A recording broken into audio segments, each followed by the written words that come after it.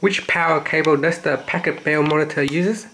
Now a lot of the old uh, monitor using a um, the old type of cables like this one here it plugs into the at the back of the monitors.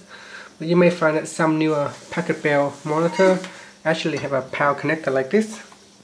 And if you're confused uh, what power adapter it is uh, plugged into this one here it is actually uh, this one here because of the power saving features newer monitors um, nowadays come in this form of power connections. This has a uh, power connector and you can use this one here to plug into the hole. So it has a plug like this and what you do you just plug into the hole and the monitor gets the power. So you can see here I'm just going to plug it in and you can see it turns on so that's where it gets the power from. So you need to use one of this adapter. So you can get it on if you haven't got one you can get it online uh, fairly cheap. Maybe for 10 or 15 dollars. And that's it. Thanks for watching this video